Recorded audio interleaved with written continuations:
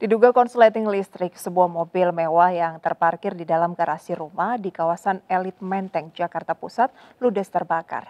Kasus konsleting listrik juga mengakibatkan satu unit mobil jenis sedan di tol Jagorawi Cawang, Jakarta Timur berubah menjadi arang.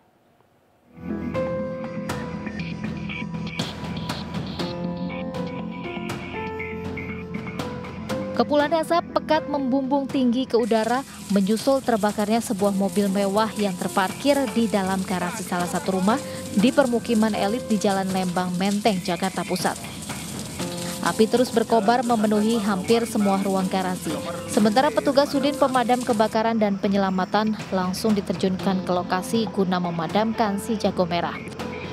Besarnya kobaran api membuat petugas harus bekerja ekstra cepat agar api tidak merembet ke bangunan utama. Kebakaran bermula saat mobil jenis Mini Cooper yang terparkir di dalam garasi ini tiba-tiba mengeluarkan percikan api dari bagian mesin saat mobil yang tengah dipanaskan pemiliknya. Awal mulanya itu beritanya mobil yang terbakar, betul ya? Jadi mobil terbakar. Nah, saya sayangkan nggak dilaporkan dalam garasi.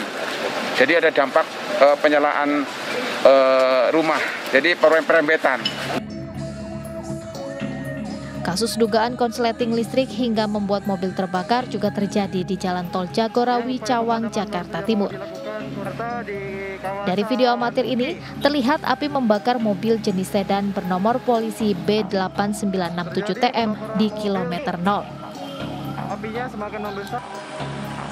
Menurut petugas, percikan api yang disertai asap tiba-tiba keluar dari bagian ruang mesin dan langsung menghanguskan seluruh badan mobil. Mobil itu pada saat sedang dikemudikan keluar percikan api dari kap. Ya. Kemudian yang yang bersangkutan menepi berupaya untuk buka kap sebenarnya untuk melepas aki ya. Namun demikian api semakin besar, Meski tidak ada korban jiwa, namun insiden menimbulkan kemacetan. Dari Jakarta, Rani Sanjaya, Rio Manik, iNews melaporkan.